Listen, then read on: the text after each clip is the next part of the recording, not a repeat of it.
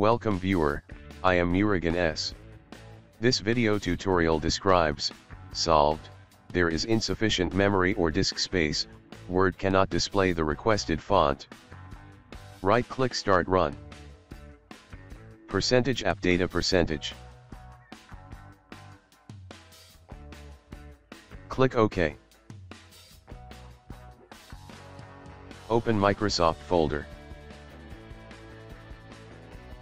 Open Templates folder.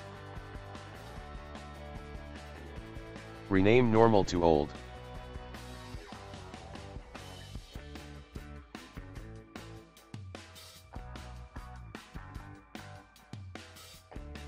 Close and exit folder.